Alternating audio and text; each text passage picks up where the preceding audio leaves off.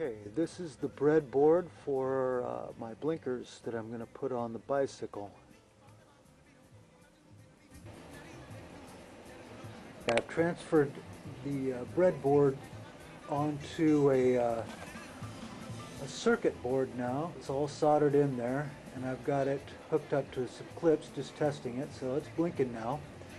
Now the next step will be to hook this up to this double pole, double throw switch. This side, when you switch it either way, will send power to the device, and then the other side will route that blinking signal to either the left or the right blinker.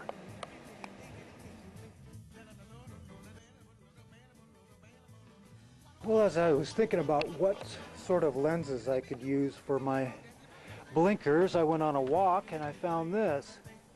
This is like a center console that upper console. These are uh, like the reading lights of a car or something. The center console somebody thrown out, and I looked at these and I thought, hey, those look like blinkers. So I'll have uh, maybe some fronts and backs with that. And then as far as what sort of console on the bike, this was in there, some sort of upper storage compartment or something. You pushed it and it came down.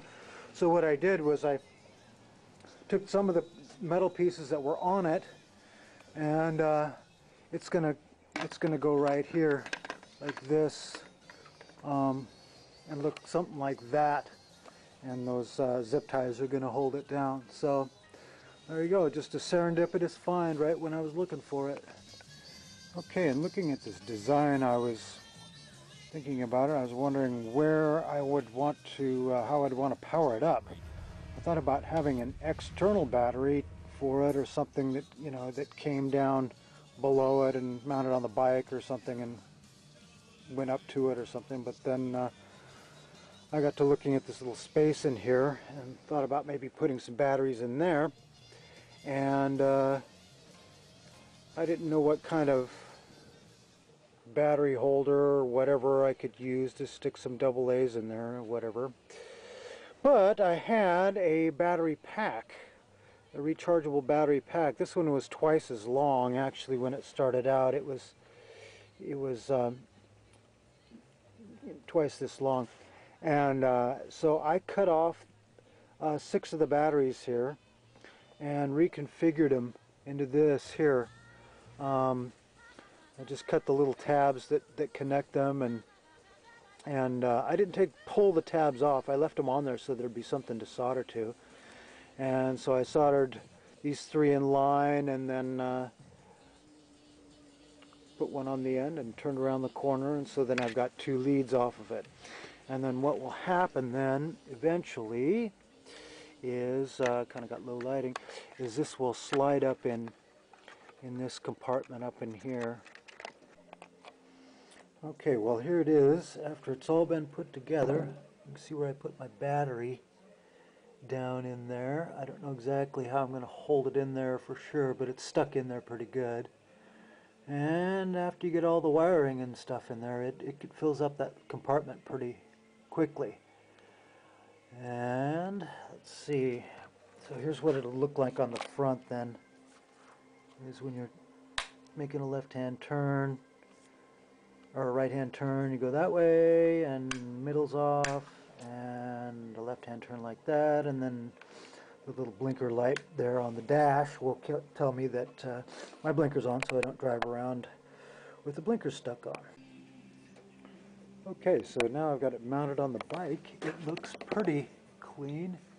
Maybe I can get some of those wires tucked up underneath there. And then this will be what it's like on the on the actual handlebars. So you're riding along and you'll make a right hand turn, left hand turn. It's not too much of a stretch for my thumb to get over there and get to the switch, so that's the main thing. Alright, good. Well, I ran into a problem with this. Uh, I had it all mounted in the dash like that and everything. And this is my little dashboard blinking light? Well, it must have had less resistance than these because when I hooked up these, which run in parallel with this one, these wouldn't blink at all. So I guess this one had less resistance and was just stealing all the energy away from this light, so to speak. So I had to put in a uh, little variable resistor down here on this light so I could dial in uh, this red one's brightness uh, and give more resistance so that this could actually blink. So now I think I can mount it all back in my dash again and work on it from there. Okay, well I got it back together and it looks like that the indicator light works in both directions. I mean this whole thing might be kind of silly because really if I wanted to know if my blinkers were on I could just look down and see the switch but I don't know maybe I just wanted a blinking light on the dashboard. Maybe at night it might be good. Okay so the next step was I was trying to think of what kind of housing that I could have to put this lighting unit in and mount this lens on top of it. And so I got to looking around and I thought I would spice it up a little bit. But what I mean by that is I was looking at one of these caps and I thought that these looked like they would hold this pretty well. And mount onto there, onto, onto this lens. So I'll show you how I'm going to do that. What I did was, um, this lens here, is I had to drill a hole in the center there and I countersunk it. And so I could put a screw in there. I thought another neat thing about this was that this will close up, and the reason I countersunk it because this closes down real tight and close. Uh, what I thought was neat about that is it kind of finishes it off. It hides the screw, so when I get it all put together, uh, you won't see that back screw. Let's see how that goes. So I drilled a hole through the circuit board and the reflector unit, and it goes right over the screw. So it goes down in there like that. And then this piece goes on here.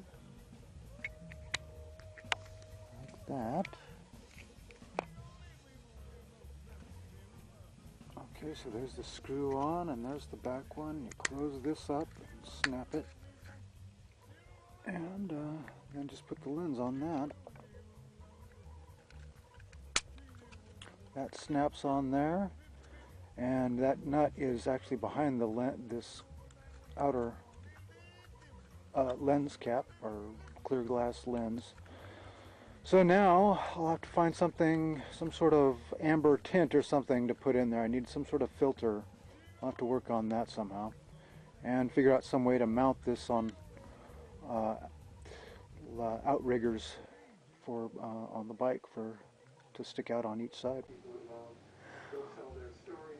Well, I decided to use this little hollow tube that uh, I found on the curb that hollow tube was the stand for this light. Uh, it's one thing about living in the city, people leave the darndest things out. Uh, not only did I get a light, but I got a solar uh, charger for it, and there's actually a, um, a light sensing resistor right there in the middle. And uh, this runs off of uh, one AA battery. Well, I was wondering exactly how I was going to attach this on here. And then I thought about this cork.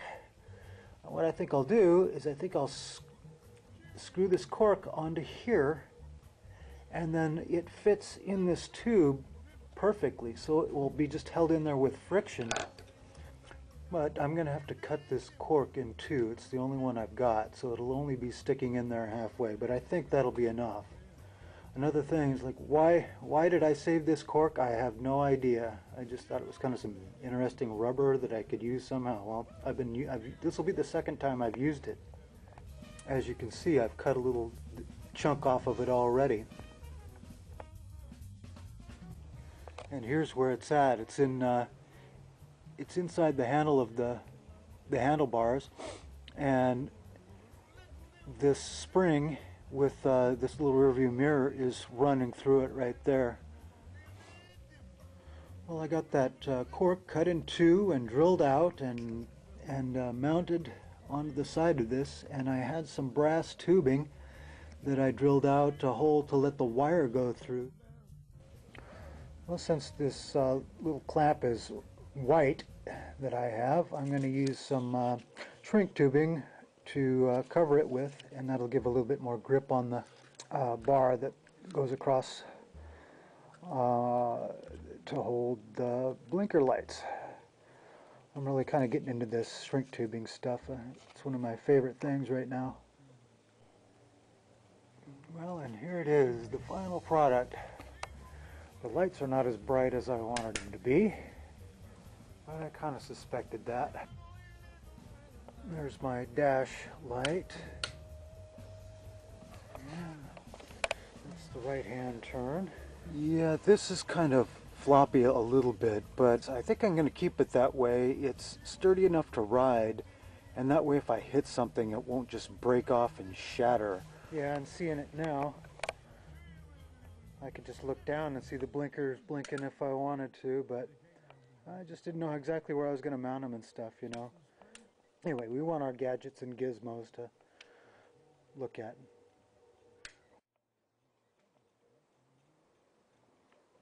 So, uh, I only spent about 34 cents on this. I had all the parts. Um, I spent 17 cents a piece on these screws that, uh, that hold the lenses on. Uh, it's kind of the fun thing about these DIY projects is you're just kind of looking around the house doing a treasure hunt and looking at things in a different way